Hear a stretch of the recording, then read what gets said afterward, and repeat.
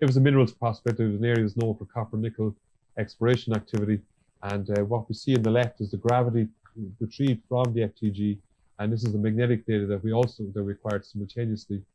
Uh, when you look at this, the gravity is a very positive high density ridge for all intents and purposes. Mm-hmm. You just call it a, a, gravity ridge. It's linear, it's, it's expressive, it's detailed, it's quite focused. And then you look at the magnetics, and on the flanks of this gravity ridge, we get magnetic anomaly, linear patterns. So straight away, we're identifying a complicated structure that's creating that signature pattern. Mm-hmm. Uh, part of it is dense and part of it is magnetic. It's not all magnetic or all dense. And, uh, and then uh... you move eastwards, you get these linear gravity highs, but they have very minimal magnetic response. Mm-hmm. So that's something a different a totally different event again. Yeah.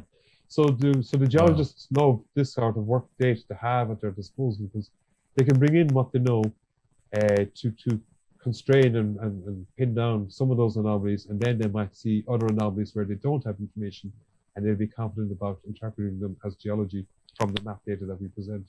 So it was a great great success story this one because they would have really updated their their geological maps to proceed with their their their exploration activity. What's the, the lithology of the long red stringer? Um, I'm trying to remember because I, I think it's um, I, I, to be honest, I can't recall, and I won't admit what it is because I'd be picked up on this.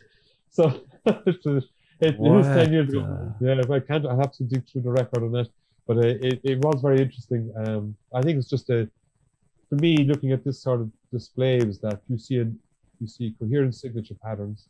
They're forming a linear trend. You see a potential for offsets, and you're seeing variable amplitude, and that's geology. It's it's uh, and the line spacing here would have been about 200 meters so there's a lot of there's good sampling on the record and a lot of detail in the data. And, uh, and, and incredible. It's, yeah, but even just before, you know, one of the things I learned when I was, um, oh, a long time ago, I remember sitting in workshops and the like and learning, uh, interpreting potential field data or mag data or, or gravity, is that they say put your leave your geology hat out the door, uh, come in with an empty mind, and start just drawing lines and, and correlate features, correlate features that look alike and linear patterns and shapes. And then, the... you know, together your drawings together at the end and look at it as a geologist and then start then start defining your geology what's what it is. Wow! So, then, so trust the data. yeah, just just look at the, the colors and the patterns. Yeah. And the linear trends. So trust and, the patterns in those data, in the data absolutely. first, before you even start yeah. to use your geologic interpretation. And then once you understand yeah. all those patterns then you can start being oh pick this apart this being a geologist and you start to you start to reason it out then geologically as to the viability of what it might be. Yeah. And, and that might involve referring to other geological information that you that you have.